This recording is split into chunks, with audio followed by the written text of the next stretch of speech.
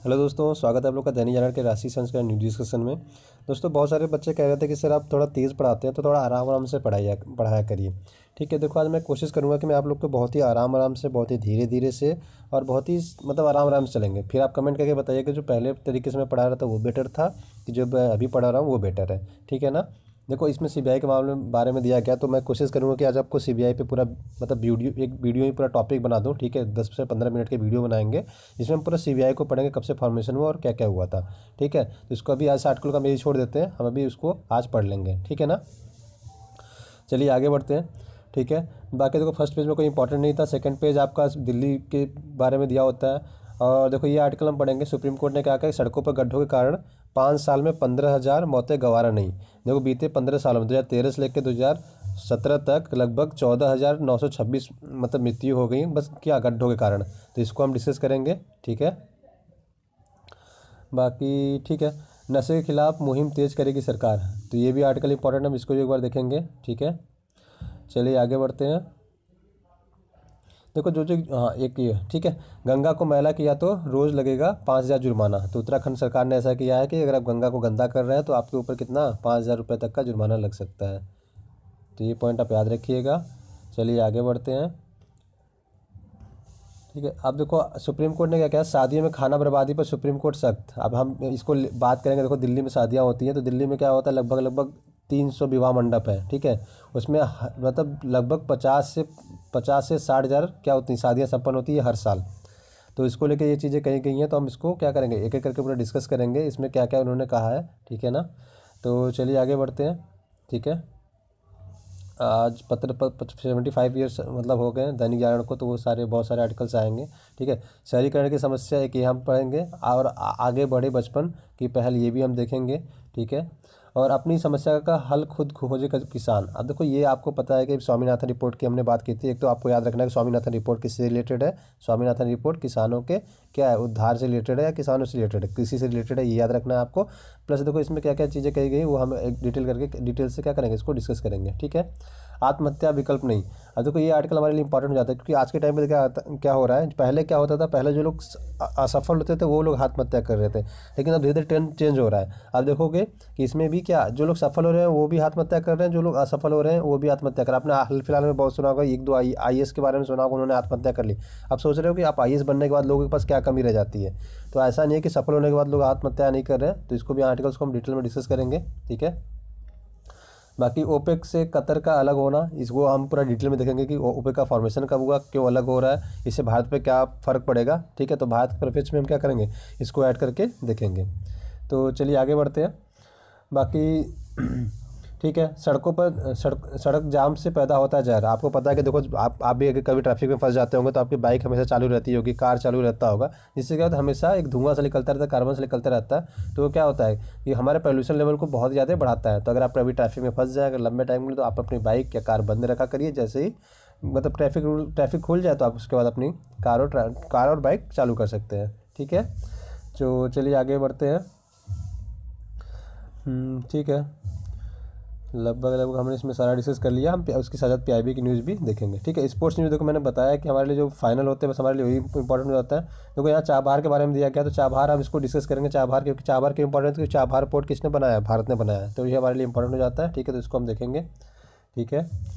तो लगभग दोस्तों, ठीक है? तो लगभग लगभग हमने इसमें सारा देख लिया। आज देखो, दैनिक जागरण के राष्ट्रीय संसद में बहुत ज़्यादा न्यूज़ इंपॉर्टेंट नहीं थी। हाँ पी की न्यूज़ हम थोड़ा डिटेल में डिस्कस करेंगे, ठीक है? तो चलिए सेशन को स्टार्ट करते हैं। तो दोस्तों, सबसे पहले हम क्या करते हैं? सबसे पहले हम रिवीजन कर लेते हैं, ठीक है? देखो इलाहाबाद का नाम प्रयागराज, फैजाबाद, अयोध्या और अहमदाबाद कर्णावती पेरियाग टाइगर रिज़र्व मैंने बता दिया कहाँ पे केरल में है सबरीमाला मंदिर कहाँ पे केरल में, किस भगवान का मंदिर है? एप्पा भगवान का मंदिर है। इतना तो आपको पता होना चाहिए, हम बहुत दिन से डिस्कस भी करते जा रहे हैं। राफेल कहाँ से ले रहे हैं? फ्रांस ले रहे हैं थर्टी सिक्स ले रहे हैं, एस फोर हंड्रेड, रसिया से ले रहे हैं। आयुष्मान भारत के बारे में मैंने डिस्कस कर लिया था, दस करोड़ परिवारों को लाभ मिलेगा, ठीक है? प्राइवेट और सरकारी हॉस्पिटल दोनों में इलाज करा सकते हो, पाँच लाख रुपए तक का बीमा मिलेगा और लगभग एक मतलब पचास करोड़ लोगों को इसका लाभ मिलेगा, ठीक है? और ये दुनिया की सबसे बड़ी हेल्थ स्कीम है। बाकी एक्सरसाइजेस की बात कर लेते हैं तो सिम्बेक्स और अग्निवेरियर भारत और सिंगापुर के बीच में है, ठीक है? इंद्र भारत और रूस के बीच में है वज्र प्रहार और कोप इंडिया भारत और अमेरिका के बीच में हैंड इन हैंड भारत और चाइना के बीच में है, समुद्र शक्ति भारत और इंडोनेशिया के बीच में है, धर्म गार्जियन भारत और जापान के बीच में कोंकण भारत और ब्रिटेन के बीच में बी एस एल के ब्रांड एम्बेसडर कौन है? मेरी कॉम है। अनुच्छेद एक से क्या करता है? आपको अध्यादेश जारी करने की शक्ति देता है, ठीक है? तो चलिए आगे बढ़ते हैं।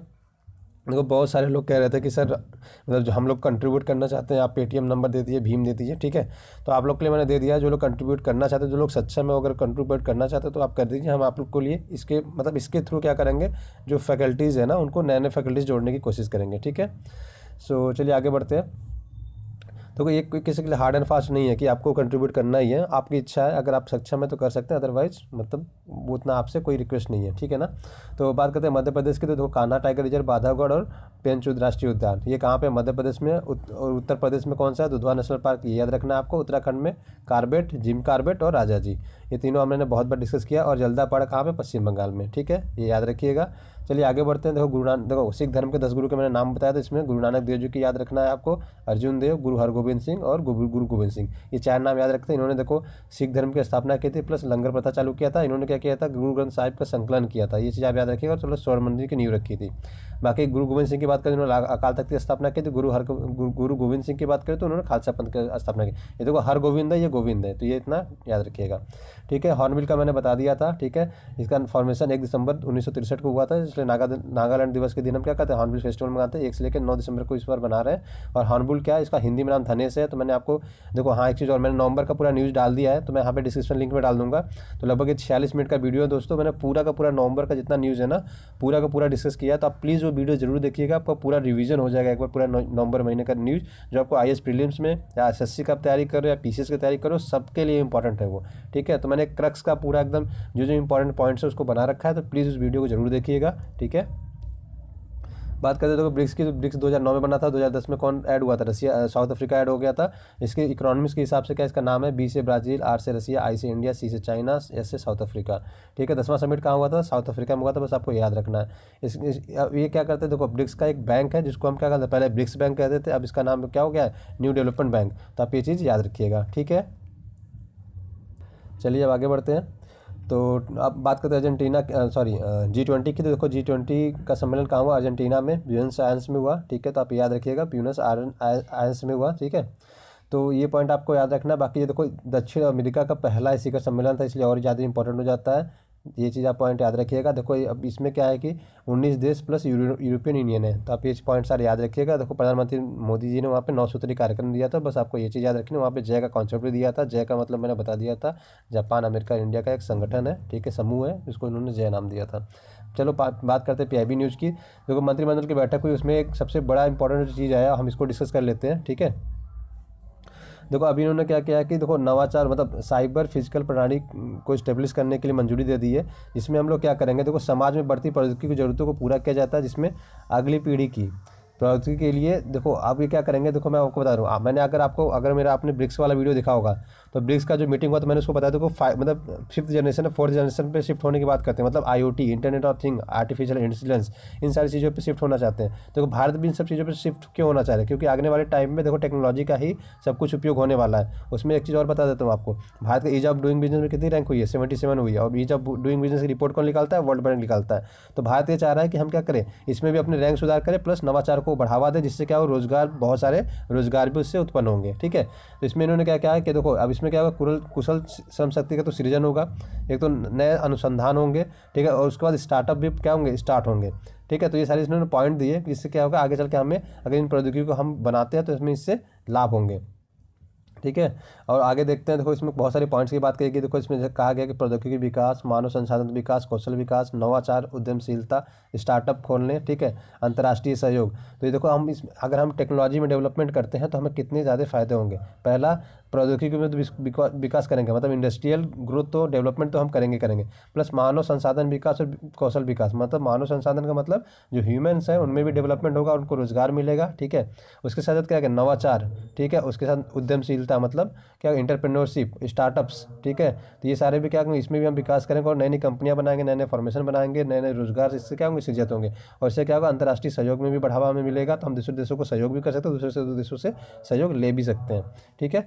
जिसको प्रभाव की बात करिए देखो मैंने सारे हार्ड हाईलाइट कर रखे हैं। देखो, शिक्षा के क्षेत्र में इससे होगा, ऊर्जा के क्षेत्र में, पर्यावरण, कृषि, इन सारे क्षेत्रों में क्या करेंगे? हमको बहुत ही ज़्यादा लाभ मिलेगा, ठीक है ना? तो इसमें लगभग लगभग मैंने सारे पॉइंट्स ऐड कर दिए हैं। देखो, इसमें लास्ट में ये दिया गया, अल्पकालिक अवधि में लगभग चालीस हज़ार लोगों को रोज़गार मिलेगा, दीर्घकालिक अवधि में लगभग दो लाख क्या होंगे? रोज़गार पैदा होंगे, ठीक है? देखो, लाभ भी यहाँ पे दे रखा है कि राज्य सरकार, केंद्र सरकार दोनों को इससे बहुत ज़्यादा लाभ होंगे, समावेशी विकास होगा, पूरा भारत क्या होगा? इसमें ग्रोथ करेगा। ठीक है? तो पृष्ठभूमि में क्या क्या है? देखो, इसमें कृत्रिम बौद्धिकता मैंने वही बता की internet of thing machine learning artificial intelligence ठीक है? बिग डाटा एनालिसिस ये सारे रोबोटिक्स ये सारे पॉइंट्स जो ब्रिक्स में डिस्कस किए गए थे, यहाँ पे भी सारे ये पॉइंट्स रखे गए हैं, ठीक है ना? अब देखो, ठीक है? अब देखो, मंत्रिमंडल ने, देखो, पंजाब में रावी नदी पर साहबपुरंगी डैम है, ठीक है? पूरकंडी डैम है सॉरी शाहपुरकंडी डैम है। उसको क्या बनाने की मंजूरी दे दी तो आपको याद रखना है, रावी नदी पर कौन सा डैम है। आपके एग्ज़ाम में पूछे जाने के चांसेस बस यही है कि रावी नदी पर कौन सा डैम है, आपको ये चीज़ याद रखनी है, ठीक है ना? तो मैं इसको आगे चल के न्यूज़ में ऐड कर दूँगा तो आपको डेली मिलता रहेगा। देखो हैंड इन हैंड अभी चालू होने वाला कब? दस दिसंबर से लेकर तेईस दिसंबर तक। तो ये आपको याद रखिए कहाँ पे होना चीन के चंगत में होने, चंग चंग चंगतू में, ठीक है? तो ये पॉइंट आप याद रखिएगा। चंगतू में होने वाली है। बात करें, देखो, ओपेक की। तो ओपेक की बात करें तो दोस्तों सबसे पहले हम ओपेक का फॉर्मेशन हुआ, इसका बात कर लेते हैं उन्नीस सौ साठ में। ठीक है, बगदाद, इराक में हुआ था, इसका हेडक्वार्टर ऑस्ट्रेलिया, ऑस्ट्रिया में है वेना, ऑस्ट्रिया में। है तो ये पॉइंट याद रखिएगा। जिसके फाउंडिंग मेंबर थे, देखो, ईरान था, इराक था, सऊदी अरब था, ठीक है? यहाँ पर मैं दिखा, सऊदी अरब, ठीक है? ईरान, इराक, कुवैत, ठीक है? कुवैत और उसके साथ एक थी वेनेजुला इन इन पाँचों कंट्रियों ने क्या किया था? मिलकर इसकी शुरुआत की थी 1960 में उसके बाद धीरे धीरे सारे कंट्री आज ऐड होती गई। अभी क्या कि कतर इससे निकलने की बात कर रहा है ठीक है? अब जो कतर निकलने की बात कर रहा है तो, कतर निकल जाएगा उससे हमें फ़र्क नहीं पड़ता। हमें फ़र्क क्या पड़ेगा? भारत के प्रवेश में भारत को क्या फ़र्क पड़ रहा है? ये हमें देखना है ठीक है? देखो अब भारत क्या है कि एट्टी एट्टी परसेंट देखो इराक इराक क्या करता है? एट्टी परसेंट अपनी चीज़ें किसको बेचता है? मतलब एशिया में बेचता है। एशिया में भी भारत लगभग लगभग इससे कितनी चीज़ें खरीदता है? इससे लगभग भारत दोस्तों अपने मतलब जो गैस की बात है, देखो तो तेल और गैस दोनों बेचता है इराक, ठीक है? कतर सॉरी कतर, तेल और गैस दोनों बेचता है तो लगभग पंद्रह परसेंट देखो हम गैस इससे लेते हैं। पंद्रह परसेंट गैस मतलब जो अपना कुल आपूर्ति का मतलब जितना इराक पैदा करता है सपोज़ करो इराक दस लीटर अगर गैस पैदा करता है, सौ लीटर गैस पैदा करता है तो उसमें से क्या करता है, पंद्रह परसेंट मतलब पंद्रह लीटर किसको बेचता है, भारत को। तो भारत को देखो लगभग लगभग कितना, भारत की पैंसठ परसेंट ज़रूरतें जो गैस की होती है ना, ये कौन पूरा करता है? ये कतर पूरा करता है, ठीक है? अगर कहा जाता है कि इससे अलग हो जाता है, अगर अलग होने के बाद अगर भारत को दोनों में से कोई एक चुनना पड़े मतलब ओपेक को चुनो या तो तुम कतर को चुनो तो भारत के लिए समस्या पैदा हो जाएँगी। क्यों? क्योंकि सिक्सटी फाइव परसेंट जितनी भारत में गैस की आपूर्ति होती है, वो अकेला कतर करता है। सिक्सटी फाइव परसेंट भारत की गैस आपूर्ति कौन करता है? कतर करता है। तो ये भारत के लिए थोड़ी समस्याजनक स्थिति हो जाएगी। लेकिन देखो लॉन्ग टर्म में इससे फ़ायदा क्या? अगर ओपेक कंट्री सपोज़ करो मिलकर क्या करते हैं? तेल के मतलब अपनी आपूर्ति कम करेंगे। क्यों? आपूर्ति इसलिए कम करेंगे कि तेल के दाम बढ़ाने हैं। जब सप्लाई कम हो जाएँगे, डिमांड में सप्लाई वाला खेल हो जाएगा। अगर सप्लाई कम हो जाएँगे तो तेल के दाम अपने आप बढ़ेंगे। उस परिस्थिति में क्या है कि हम कतर से लाभ ले सकते हैं। मतलब हम कतर से तेल खरीद सकते हैं तो कतर से गैस कतर खरीद सकते हैं। लेकिन समस्या एक और है कि जितने वर्ल्ड में मतलब हंड्रेड जितना है, ठीक है, तेल गैस बेचे जाते हैं, उसमें बस कतर का जो कंट्रीब्यूशन है, दो ही है। तो कतर किसको किसको देगा? आप ये सोचिए ना नाइन्टी तो इनके पास है। नाइन्टी परसेंट मैं कहूँगा अगर इनके पास है, ठीक है? तो दो परसेंट ही कितना है? कटर के पास है। तो ये भी एक चीज़ देखनी पड़ेगी। मतलब हंड्रेड परसेंट तो नहीं है क्योंकि अमेरिका और रसिया के पास भी है तो ओपेक के पास हंड्रेड परसेंट तो नहीं है। लगभग एट्टी फाइव परसेंट के आसपास कंट्रीब्यूट करते हैं, ठीक है? वर्ल्ड में। और ये लगभग दो परसेंट कौन करता है? कतर करता है। तो ऐसा नहीं कि सारी आपूर्ति हमारी कौन कर सकता है? कतर नहीं करेगा। तो आपको ये पॉइंट भी याद रखेगा कि कतर हमें दोनों स्ट्रेटिक रूप से हमें दोनों के लिए हमारी इंपॉर्टेंट है। एक तो हमारे लिए, क्या ओपेक इंपॉर्टेंट है, एक हमारे लिए कतर भी इंपॉर्टेंट है। तो हमें दोनों को देखो, ध्यान में रखना और दोनों समय क्या है, एक तो सामंजस्य बना के रखना पड़ेगा। क्यों? क्योंकि एक रीजन और है, देखो। अभी क्या है कि यूएसए ने क्या किया? ईरान इराक ईरान पर क्या किया? ईरान पे अभी सेंक्शंस लगा रखे चार नवंबर से। तो अब देखो, भारत भारत और चाइना दो ही कंट्री हैं जिन्होंने कहा कि नहीं, हम तेल खरीदेंगे खरीदेंगे खरीदेंगे। इन केस अगर देखो, ईरान से भारत को तेल कम खरीदना पड़ेगा तो इनको ओपेक पर डिपेंड होना पड़ेगा या तो फिर कतर पर डिपेंड होना पड़ेगा, ठीक है? तो ये भी चीज़ भारत को याद रखना है और भारत को दोनों से काम मिला के रखना पड़ेगा। देखो, भारत के लिए बड़ी चुनौती है कि ये दोनों दूसरे के बीच क्या करें। एक संतुलन बना के रखना भारत के लिए बहुत बड़ी चुनौती है। बता चले आप कतर से खरीद रहे हो तो ये नाराज़ हो जाए। आप इससे खरीद रहे हो तो ये कहीं हमसे नहीं खरीद रहे हो। तो भारत को देखो सबसे बना रखना। मैंने आपको आई में एक चीज़ हमेशा पढ़ाई थी कि आपका कब कौन दोस्त हो सकता है, कौन कब शत्रु हो सकता है, आपको यही नहीं पता होता। तो आपको सबसे बना के रखना है, ठीक है? और इस टॉपिक को देखो, हम भारत और उसके पड़ोसी देशों से भी रिलेट कर सकते हो या आईआर से। ठीक है आई में सीधा आ जाता है ये, ठीक है? तो ठीक है, चलिए आगे बढ़ते हैं। तो लगभग लगभग इसमें सारे मैंने पॉइंट्स आपसे डिस्कस कर लिए दोस्तों। बात करते हो चाबहार पोर्ट की तो चाबहार पोर्ट भारत बनाया आपको पता है, ठीक है। और इसमें क्या आतंकवादी हमला हुआ तो इसमें हमारे विदेश मंत्री सुषमा स्वराज ने भी इसमें मतलब को मतलब कोर्ट्स किया ट्वीट किया कि मुझे मतलब बहुत ही क्या शोक जताया उन्होंने, ठीक है। तो आपको याद रखना है कि चाबहार पोर्ट किसने बनाया है? भारत ने बनाया है, ठीक है। कहाँ पर है ये? ईरान में है तो आपको याद रखना है, ठीक है ना। ये सारे पॉइंट्स आपको याद रखने हैं, ठीक है। चलिए आगे बढ़ते हैं। देखो, ये मैप में आप देख सकते हो, ये ओपे की कंट्रियाँ हैं तो कुछ अफ्रीका की कंट्री हैं, कुछ एशिया की, ठीक है कुछ एशिया की कंट्रियाँ कुछ साउथ अमेरिका की कंट्रियाँ तो आप ये सारे पॉइंट याद रखिएगा। ठीक है सड़क सड़कों को, सड़कों पर गड्ढे के कारण पाँच साल में पंद्रह हज़ार के मौतों को गंवारी नहीं, ठीक है, ये भी देख।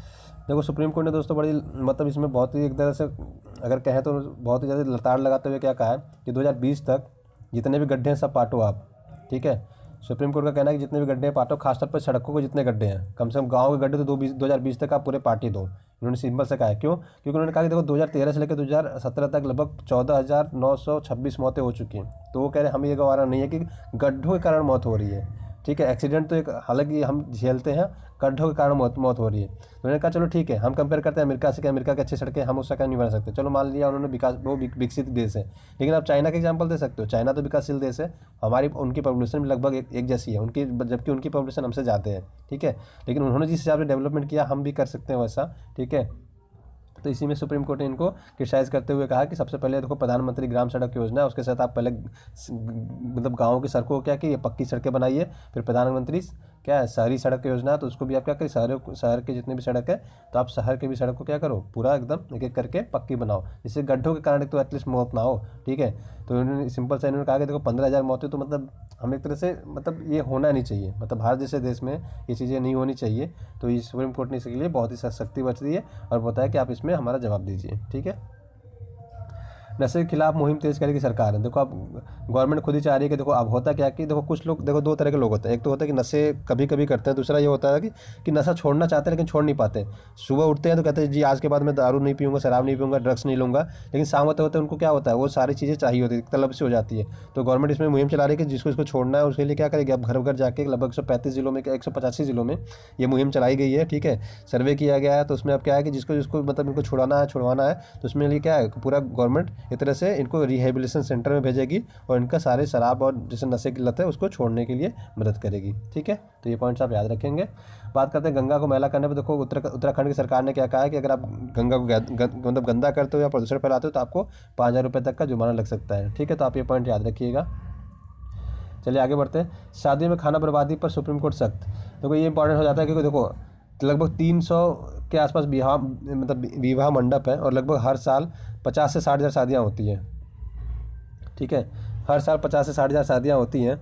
तो ये कहा जाता है कि सुप्रीम कोर्ट ने ये कहा कि देखो, उसमें क्या होता है, खाने की ना बहुत ज़्यादा बर्बादी होती है। खाने की बर्बादी भी होती है तो उसके साथ साथ क्या होता है, पानी की बर्बादी होती है। आपको पता है कि दिल्ली में ज़्यादातर सप्लाई कहाँ से आता है? हरियाणा से आता है।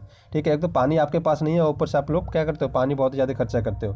तो सुप्रीम कोर्ट ने इस पर बहुत ज़्यादा मतलब कड़ा बर्ताव करते हुए यही कहा है कि आपको इस चीज़ों पर ध्यान देना पड़ेगा, ठीक है? और आप आप इसको पानी के तो खाने की बर्बादी ना करिए, प्लस खाने के साथ साथ पानी की बर्बादी बहुत होती है। तो पानी की बर्बादी को रोकने के निर्देश दिए और आगे बढ़े बचपन। बचाने की पहल। ठीक है, देखो, आज के टाइम पे इसमें लेखक ने यही कहा कि देखो, पाठ्यक्रम को क्या हम बोझ बढ़ाते जा रहे हैं। आपको देखा कि जितने छोटे, हम लोग, देखो जैसे से हम ग्रेजुएशन में बढ़ते जाते हैं, हम एक कॉपी लेके जाने लगते हैं। लेकिन आपको भी छोटे बच्चों को देखिए, जो क्लास सिक्स सेवन्थ एल के जी यू के जी में पढ़ रहा हो, उसके बैग देखिए कितना भारी होता है। तो यही कह रहा है कि इसमें लेखक यही जस्ट सिंपल से यही कहना चाहते हैं दोस्तों कि ठीक है कि हमारे बचपन को बचाया जाए। बचपन को बचाया जाने के इन द सेंस कि हमारे पास वर्क लोड ज़्यादा होता है, जिससे क्या होता है, हमारा दिमाग मतलब उलझ सा जाता है। हमें क्या होता है, एक नवाचार माइंड का टाइप का हमारे बचपन से हमारा क्या होता है, दिमाग होनी चाहिए। हमें नए नए विचार आते हैं उस टाइम पर नए नए चीज़ें हम सोच पाते हैं तो उस टाइम पर हमें फ्री माइंड होनी चाहिए। ऐसा ना हो कि हम किताबों के बोझ के तले क्या होते हैं, दबते चले जाएँ, ये होमवर्क करना ये असाइनमेंट करना ऐसे करना आज के टाइम पर स्कूल्स कॉलेज ये देते चले गए। क्यों? रीज़न इसका ये है कि माँ बाप भी चाहते हैं कि अगर स्कूल होमवर्क नहीं देता है तो माँ बाप ये सोचते हैं कि ये स्कूल अच्छा नहीं है।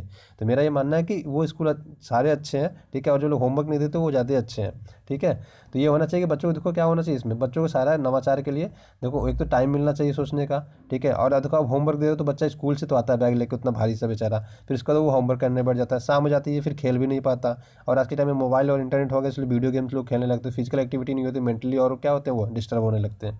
तो लेखक इसमें सिंपल से ये कहता है कि देखो, एक तो जो हमारा पाठ्यक्रम है ना, वो थोड़ा सीमित होना चाहिए। सीमित मतलब थोड़ा कम होना चाहिए, जिससे क्या हो कि बच्चों को नवाचार करने और सोचने का फिर नए नए विचार लाने का इनको एक मौका मिल सके। ठीक है ना? तो चलिए आगे बढ़ते हैं। देखो, शहरीकरण की समस्याएँ ये भी दिखेगी। ये देखो, आज के टाइम पे हम डेवलपमेंट तो कर रहे हैं, लेकिन डेवलपमेंट ग्रीन डेवलपमेंट नहीं कर रहे हैं। डेवलपमेंट मतलब हमने सारी सड़कें बना रहे हैं, पेड़ काट देते हैं, लेकिन उस समझ कर हम एक पेड़ काट के पौधा लगा देते हैं। क्या एक पौधा एक पेड़ के बराबर नहीं है? अगर आप पेड़ काट रहे हो तो कम से कम आपको कितने पौधे लगाने चाहिए? कम से कम मेरे हिसाब से पाँच सौ पौधे लगाओ तो एक पेड़ काटो, ये होना चाहिए, ठीक है?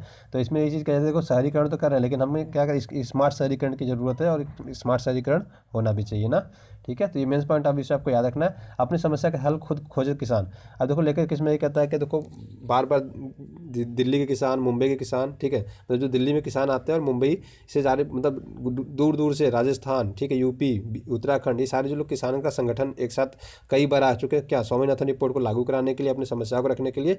लेकिन क्या राजनीतिक पार्टी अपने मज़े लेती है? अब क्या करते हैं ये लोग? कर्ज माफ़ी का झुंझुना इसमें लिखा कहता है, कर्ज माफ़ी का झुंझुना पकड़ा दिया जाता है। कुछ ये एक मतलब तत्कालिक तत्कालिक तौर पे तो ठीक है, तत्कालिक तौर पे कुछ टाइम के लिए आप कहोगे कि ठीक है, क्या हुआ? तत्कालिक तौर पे हमें कुछ टाइम के लिए हमें रिलीफ दे दिया, लेकिन लॉन्ग टर्म बेनिफिट नहीं है।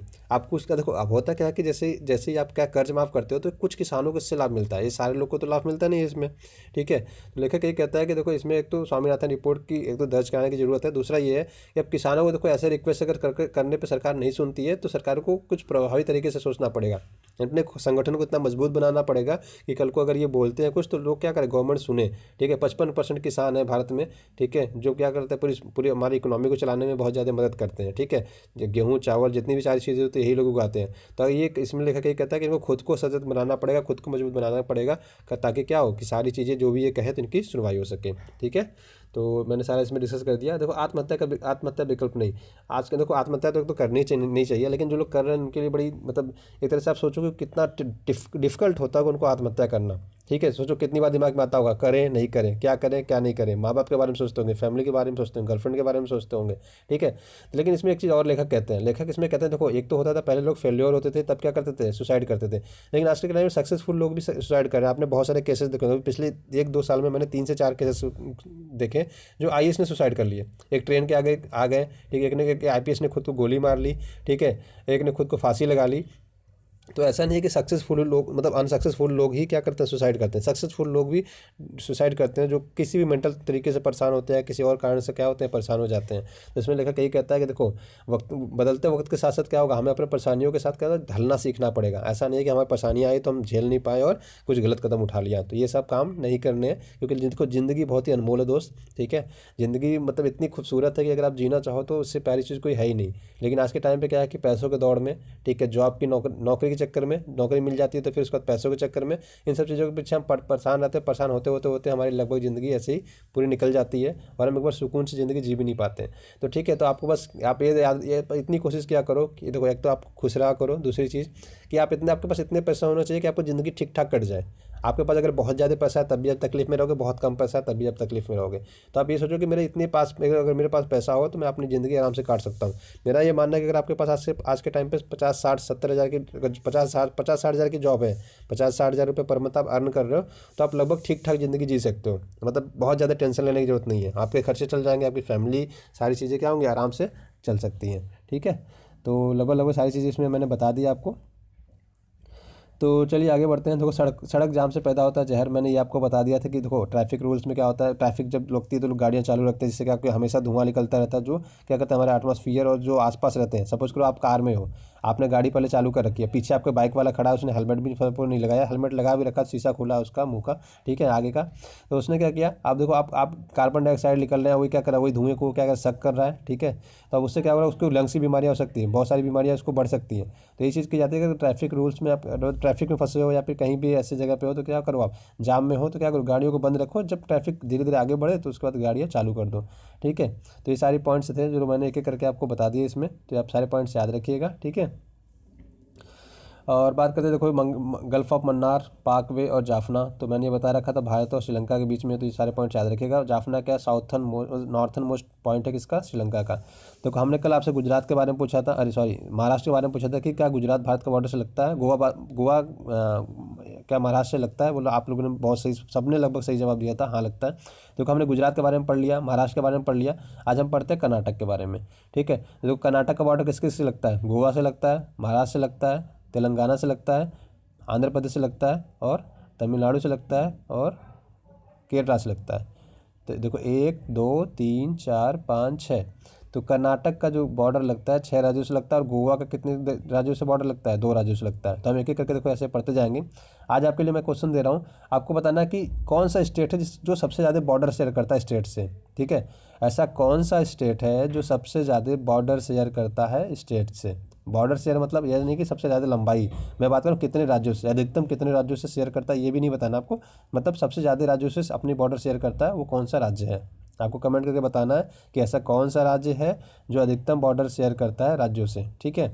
अधिकतम राज्यों से अपना बॉर्डर शेयर करता है, ठीक है? ये आप ज़रूर ज़रूर ज़रूर से ज़रूर दोस्तों कमेंट करके अपना रिप्लाई दीजिएगा, ठीक है? ये मेरा व्हाट्सअप नंबर है। आप जस्ट इस पर हाई लिख के भेज सकते हैं। आपको जो भी पीडीएफ रिलेटेड लिंक रहेगी, सारा आपको यहाँ पे प्रोवाइड कर दिया जाएगा, ठीक है? यहाँ पे क्वेरी मैं नहीं ले पाऊँगा क्योंकि इतने ज़्यादा मैसेज आते हैं दोस्तों कि मैं आपको, आप वहाँ पर बात करना मेरे थोड़ा मुश्किल हो गया है, ठीक है? तो आपके जो भी सुझाव, कुछ भी आप क्या करिए कमेंट करते कमेंट करके यहाँ पे बोलिए, ठीक है? मैं आपको सारा जवाब देने की कोशिश करूँगा। और चैनल को सब्सक्राइब कर दिए यहाँ पे बेल आइकन होगा उसको दबा लीजिएगा ज़रूर से ज़रूर, जिससे क्या होगा, जब भी मैं आपको वीडियो डालूँ तो आपको मिल जाए करें, ठीक है? तो आज की वीडियो में बस इतना ही दोस्तों। वीडियो देखने के लिए बहुत बहुत धन्यवाद। आपका दिन से वो thank you so much have a great day